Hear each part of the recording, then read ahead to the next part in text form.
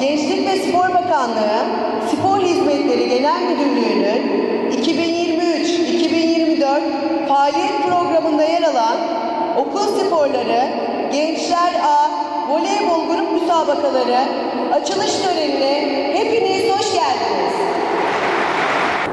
2023-2024 eğitim öğretim yılında yine spor faaliyetlerimize devam ediyoruz. Tabii ki okullarımızda akademik başarı çok önemli. Akademik başarı vazgeçilmez bir unsur eğitim öğretim faaliyetlerimizde.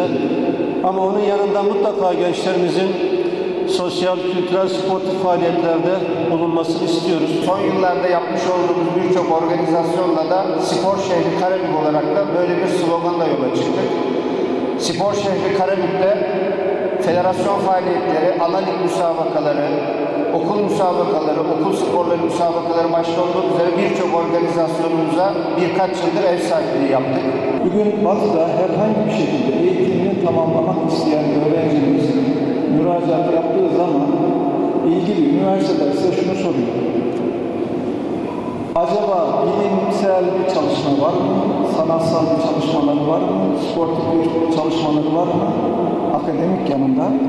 Eğer bunlardan herhangi birisi varsa sizleri eşitler arasında çıkartıyor. Bu anlamda